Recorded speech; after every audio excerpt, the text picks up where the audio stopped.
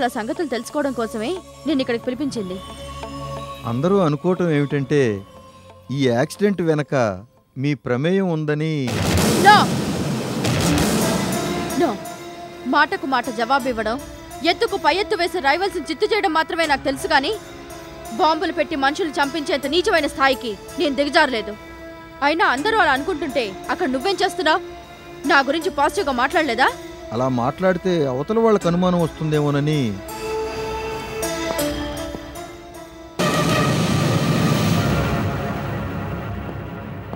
Sorry madam. Sorry to disturb you. Yes accident case నేను investigate చేస్తున్నాను madam. ఆ సందర్భంగా ఒకటి రెండు విషయాలు మీతో. నాతో మాట్లాడాల్సిన విషయాలు ఏమున్నాయి? రవీంద్ర కృష్ణప్రసాద్ అనేవాళ్ళు ఇక్కడ పనిచేస్తున్నట్టు తెలిసింది. రవీంద్ర ఒక్కరే మా స్టాఫ్ మెంబర్. కృష్ణప్రసాద్ మా శ్రేయోభిలాషి. అతనిది వేరే కంపెనీ. ఆ ఇద్దరిని అరెస్ట్ చేయడం జరిగింది మేడం. వాట్?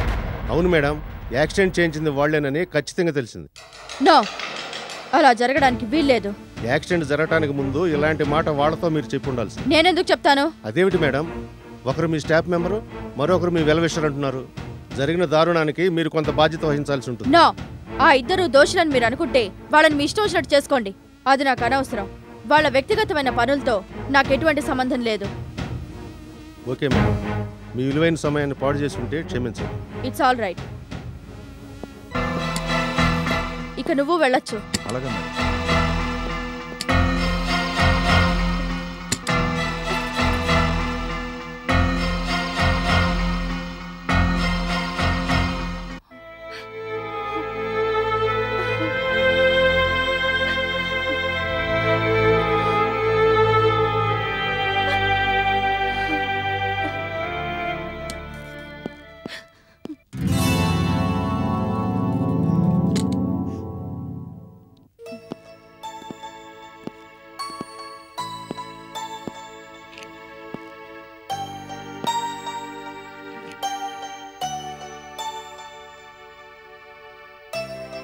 ఇన్వెస్టిగేషన్ ఆఫీసర్ని కలిసొస్తున్నానమ్మా. రిపోర్ట్ మొత్తం తయారైందట.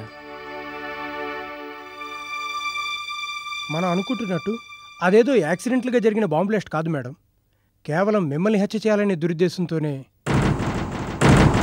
అవును మేడం చాలా ప్రీ ప్లాన్డ్గా చేసిన ఈ బాంబ్ బ్లాస్ట్కి కారకులు రవీంద్ర కృష్ణప్రసాద్ అని క్లియర్గా తేలిపోయింది. అంటే ఇది ఆ రోజు చేయించిన పని నేను స్పష్టంగా తెలుస్తుంది. బాబు దీపక్ ఆవిడ నీ అత్తయ్య. ఆ మాట చెప్పుకోవడానికి నాకు సిగ్గుగా ఉందమ్మా. ఇందులో గమనించవలసిన ముఖ్య విషయం ఒకటి ఉంది మేడం. ఈ ఇన్సిడెంట్ వెనుక రోజీ గారి ప్రమేయం ఏమీ లేదని రిపోర్ట్ చెప్తుంది. నో! నేను నమ్మను. మా అమ్మతో పోటీ పడ్డం చేతకాక మా అమ్మని చంపాలనుకుంది. కానీ మా చెల్లెలి ఫ్యామిలీని పొట్టన పెట్టుకుంది. ఆమె మనిషే కాదు. దీపక్ మాట నూరు దాటితే ఊరు దాటుతుందంటారు. ఎందుకు బాబు? తెలిసి తెలియకుండా తొందరపాటు కామెంట్స్ చేస్తావు. దానివల్ల ప్రయోజనం ఏముంది చెప్పు? సాక్ష్యాధారాలు బలంగా ఉన్నాయి కాబట్టి కృష్ణప్రసాద్ రవీంద్రులకు కఠినమైన శిక్షలే పడవచ్చనంటున్నారు మేడం. వాళ్ళ నా దేవుడి శిక్ష విధిస్తాడు. మరి ఆ రోజుకి ఏ దేవుడు విధిస్తాడమ్మా శిక్ష? దీపక్ రోజీ మనసు లేని ఆడదని తెలుసు గాని ప్రాణాలు తీయించేంత కిరాతకురాలు కాదేమోనని నా నమ్మకం. జరగవలసిన దారుణం అంతా జరిగిపోయాక ఇక ఎవరిని తప్పు పట్టి ఏం ప్రయోజనం? దీపక్! రిపోర్ట్ వివరాలు తెలిసిన దగ్గర నుంచి డైరెక్టర్ గారు చాలా రెస్ట్లెస్గా ఉన్నారు మేడం. ముఖ్యంగా మీరు రోజీ గారి మీద సాఫ్ట్ కార్నర్ చూపించడం అస్సలు భరించలేకపోతున్నారు. అందరూ అనుమానిస్తున్నట్టు ఈ పాపంలో రోజీ పాలు పంచుకునుంటే అందుకు తగిన శిక్ష తప్పక అనుభవిస్తుంది. ఏ సాక్షిని తప్పించుకున్నా మనసాక్షిని తప్పించుకోలేదు కదా?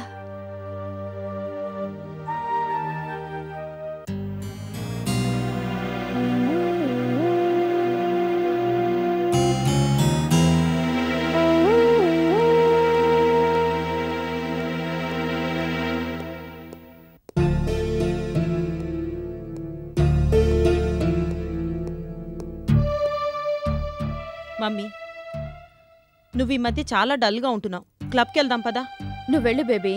నువ్వు ఇలా ఇంట్లో ఉంటే ఒక్కదాన్ని నేను ఎలా వెళ్తాను? నువ్వు కూడా రా మమ్మీ. వస్తే మళ్ళీ క్లబ్ మెంబర్స్ మాట్లాడే సూటిబోటి మాటలు వినాలి బాధపడాలి. అనవసరమైన విషయాల గురించి బాధపడేంత తీరిక నాకు లేదు బేబీ. ఎవరి గురించి మమ్మీ నువ్వు మాట్లాడేది? మిసెస్ అల్ఫాన్సా గురించే కదా? ఆవిడ గారి గురించే. ఆ కార్ యాక్సిడెంట్ కేసుకి నాకు ఎటువంటి సంబంధం లేదు. ఒకవైపు ఇన్వెస్టిగేషన్ జరుగుతోందని చెప్తుంటే ఇదంతా మీరే చేయించారని అందరూ అనుకుంటున్నారని మాట్లాడింది. సిగ్గు లేకుండా. ఏ? మీరు సిగ్గుపడరా? అవునులే. సిగ్గు అభిమానం అనే పదాలకు అర్థాలు తెలిస్తే మీరు ఇలా ఎందుకు బిహేవ్ చేస్తారు? ఎస్ దీపక్ నేను మాట్లాడుతున్నాను. ఏ? నేను అన్న మాటల్లో ఏదైనా తప్పుందా? ఎవరో వచ్చి మీ దగ్గర అనడం కాదు. కార్ యాక్సిడెంట్ జరగడానికి కారణం మీరేనని నేను అంటున్నాను. బుద్ధి లేకుండా మాట్లాడుకో. బుద్ధి లేకుండా మాట్లాడుతున్నది మీరు. మా మమ్మీని అంత మాట అంటావా? కేవలం మాటలతోనే వదిలేస్తున్నాను. సంతోషించు. అంటే ఏమిటి నీ ఉద్దేశం? బుద్ధి లేకుండా మాట్లాడింది ప్రవర్తించింది చాలక? నాకు బుద్ధి లేదని దబాయించడంలో మీ ఉద్దేశం ఏంటి? చట్టం దృష్టి నుంచి తెలివిగా తప్పించుకోవచ్చు.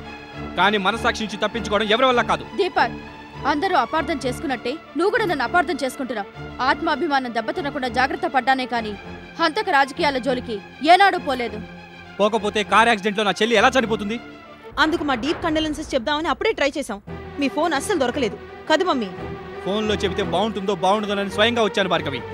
ఇన్నేళ్ళు మీది పరువు మర్యాదలున్న కుటుంబం అనుకున్నాను. కానీ అహంకారం గురించి తప్ప అనుబంధం ఆప్యాయతల గురించి మీకేమాత్రం తెలియదని అనుభవపూర్వకంగా తెలుసుకున్నాను. ఇలాంటి ఇంటికి అల్లుడని చెప్పుకోవడానికి నాకు సిగ్గుచేటుగా ఉంది. ఇక నీకు నాకు ఎలాంటి సంబంధం లేదు.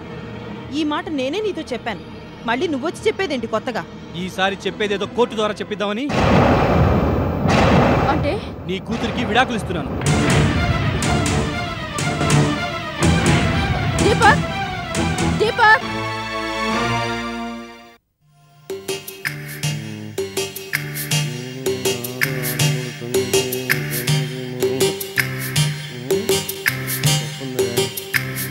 ఏమండి? మీరు మెకనస్ గోల్డ్ సినిమా చూసారా? అందులో ఉన్న కొండలు బంగారపు కొండలని నేను. కాదు ఉత్తిత్తి కొండలే అని పక్కింటి ఆవిడ పందెం వేసుకున్నాం. ఎంత వేసారేమిటి పందెం? పది రూపాయలు. ఆవిడే గెలిచింది ఇచ్చిరాపో గెలవగానే ఇచ్చేస్తానేమిటి? ఇంకోసారి నేను గెలిచినప్పుడు దానికి దీనికి చెల్లు అంటాను. హాలీవుడ్ సినిమాల మీద పడ్డావేంటి మధ్య? ఏం లేదండి ఆ సినిమాలో బంగారపు కొండలు చూపిస్తారంటే వెళ్ళాను. ప్రస్తుతం నువ్వు ధనలక్ష్మి జ్యోతిలక్ష్మి వ్రతాలు చేయటం లేదా?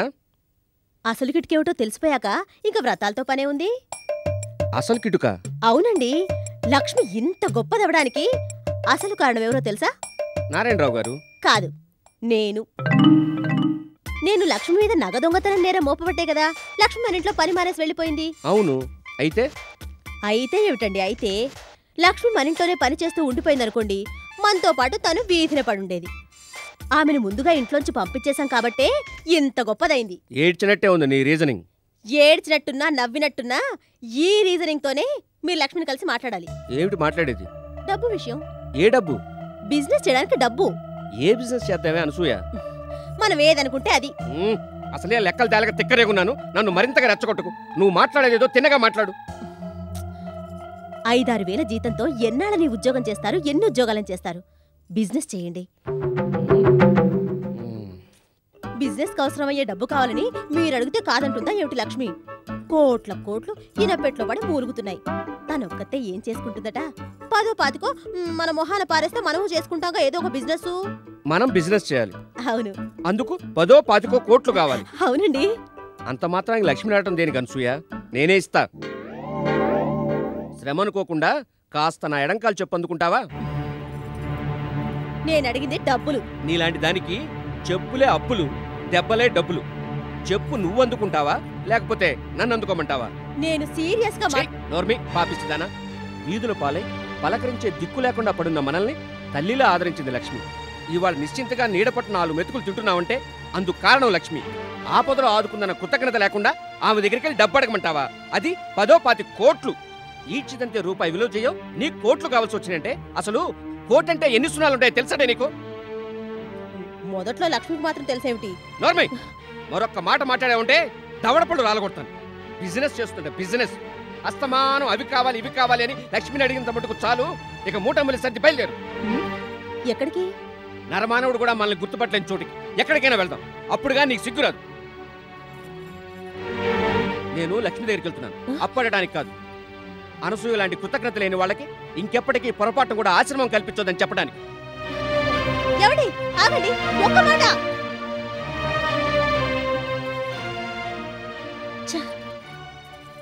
బిజినెస్ సంగతి చెప్పకుండా ఉండాల్సింది. నువ్వు అత్తవారింటికి వెళ్ళి రావడం వరకు బాగుంది కానీ అలా మాట్లాడి రావడమే నాకు నచ్చలేదు దీపక్. వాళ్ళతో అలానే మాట్లాడాలి. భార్గవ్కి ఎంత పొగరు అహంకారమో నీకు తెలీదమ్మా. తల్లిదండ్రులు ఎలా పెంచుతారో పిల్లలు అలాగే పెరుగుతారు బాబు. రోజీ పెంపకంలో పెరిగింది కాబట్టి భార్గవి అలా తయారవడంలో వింతేమీ లేదు. మీరు ఒకరినొకరు ప్రేమించుకొని పెద్దలను ఎదిరించి మరీ పెళ్ళి చేసుకున్నవాళ్ళు. మనస్పర్ధలు వచ్చినంత మాత్రాన మనసుని కష్టపెట్టే మాటలు మాట్లాడొచ్చా? తప్పు కదూ. నువ్వు నా పెంపకంలో పెరిగిన వాడివి బాబు. భార్గవిని చూసి అందరూ రోజీని తప్పు పట్టినట్టు. నీ ప్రవర్తన చూసి నలుగురు నన్ను తప్పు పట్టడం నేను భరించలేను. వెళ్ళు. వెళ్ళి ఏదో ఆవేశంలో కోపంతో అలా మాట్లాడాను. నువ్వంటే నాకు ప్రేమే అని భార్గవితో చెప్పు. అత్తయ్యా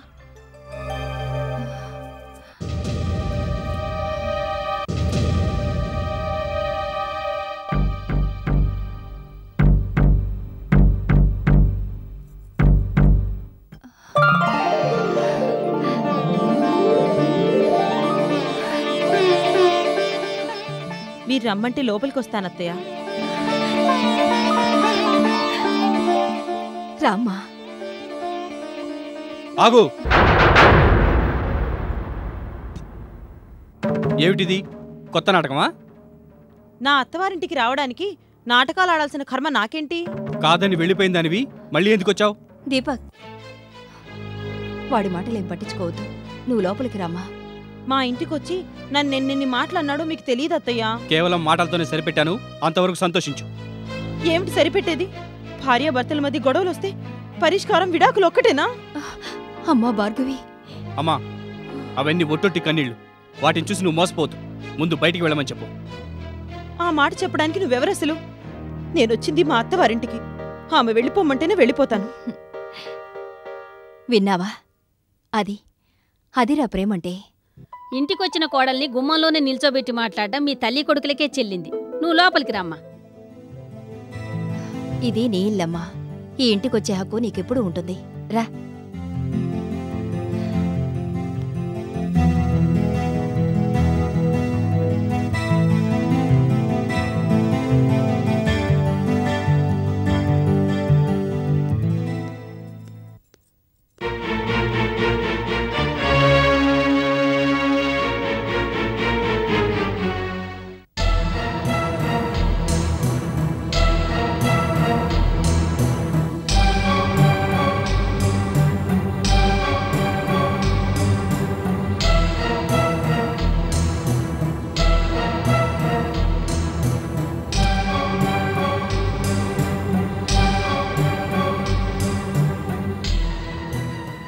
టీ తెస్తే వద్దన్నారు.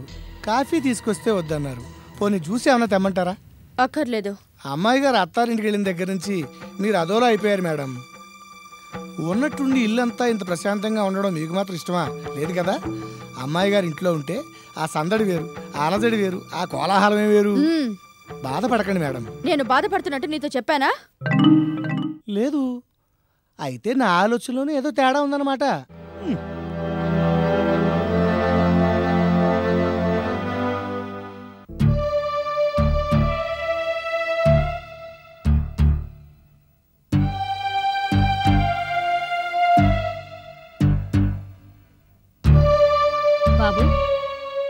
గాని కాఫీ గాని కావాలా? వద్దులే ఆయా అమ్మాయి పిల్లలు పైన ఆటపాటలతో అల్లరి చేస్తుంటే నువ్వు ఇక్కడ కూర్చున్నావేం బాబు? ఆయా అమ్మ ఆలస్యంగా వస్తానని చెప్పిందా? అలా ఏం చెప్పలేదు బాబు. సర్లే నువ్వు వెళ్ళు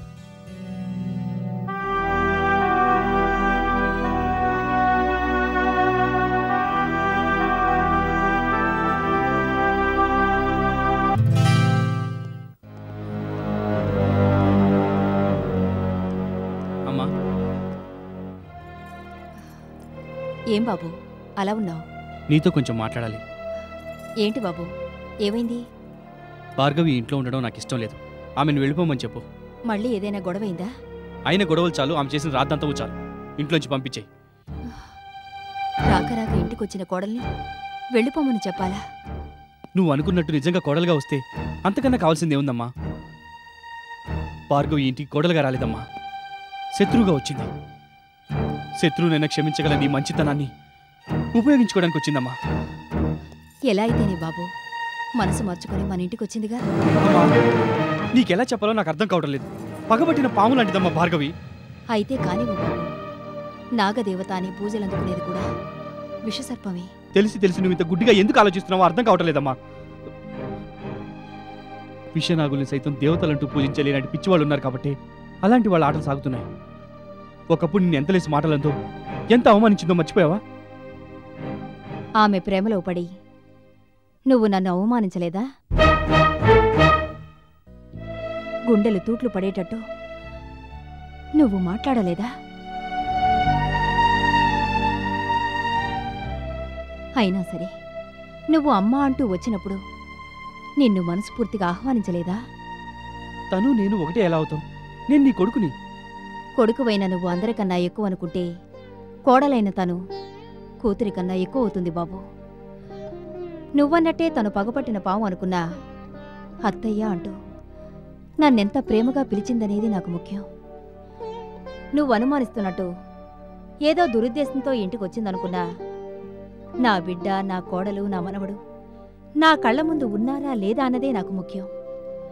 పొద్దున్నే నిద్ర లేవగానే మీ ముగ్గురిని చూసుకోవడం కోసం ఎంత గొప్ప విషసర్పం ఇంటికొచ్చినా నేను పాలైపోస్తాను ఎవరెన్ని నాటకాలాడినా మౌనంగా భరిస్తాను. ఇదంతా నువ్వు చేస్తానంటున్నది నా సుఖం కోసమే కదమ్మా. పిల్లా పాపలతో నువ్వు పచ్చగా ఉండడం కన్నా నాకు వేరే కావాల్సింది ఉంది బాబు. సరే నీ మనసు కష్టపెట్టడం ఇష్టం లేక ఒప్పుకుంటున్నాను. రేపు తను ఏదైనా తిక్క విషయాలు వేస్తే నువ్వు కాదు కదా? బ్రహ్మదేవుడు వచ్చి చెప్పినా వినాను.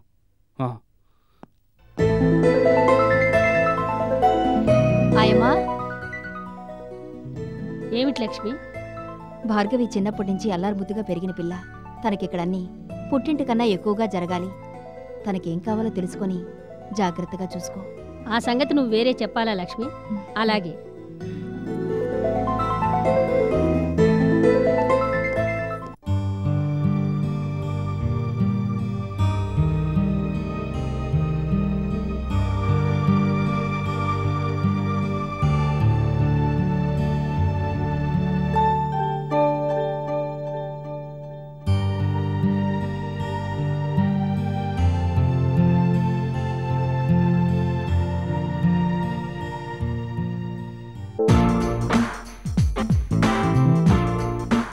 Hello Mrs Rosie what is surprise hello Mrs Rosie hello ఒక ఫోను లేదు పలకరింపు లేదు. క్లబ్కు రావడం మానేశారు. What happened Mrs Rosie nothing no no something is there ఏం లేదు. మా భార్గవి అత్తారింటికి వెళ్ళింది. అదే విషయం. Is it oh god! నా డార్లింగ్ భార్గవి ఇంట్లో లేదా? అయితే ఈ మధ్య మిస్సెస్ భార్గవ్కి పతిభక్తి ఎక్కువైందనమాట హే పరమేశ్వరా. ఏంటి? అన్నట్టు టేబుల్ ఖాళీగా మనం వచ్చాం కదా. పేకతో పెళ్ళపెళ్ళ ఆడిపోతుంది.